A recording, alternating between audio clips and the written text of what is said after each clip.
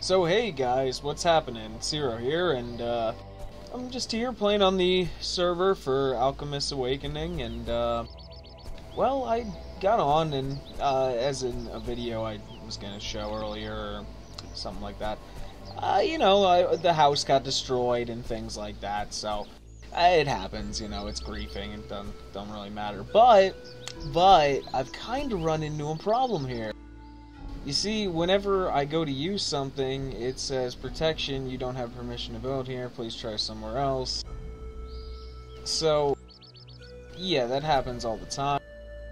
But if you look at this, basically, when I collect resources, it was, uh, it was, it was glitching out in a pretty hard way. Yeah, that.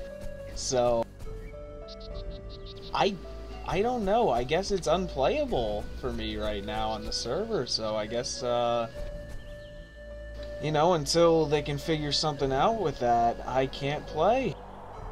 Uh, it just seems to be the wind, though, for whatever reason. It looks like fire's not disappearing. Um, yeah. Big bummer, though.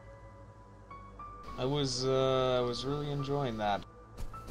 Um, I may resume my uh, wanderings about in this game through my single player. So yeah, stay tuned and uh, get ready for more awesomeness of this game because it's a great game. I mean, jeez. Aside from bugs, but bugs happen everywhere, right? Anyway, zero out.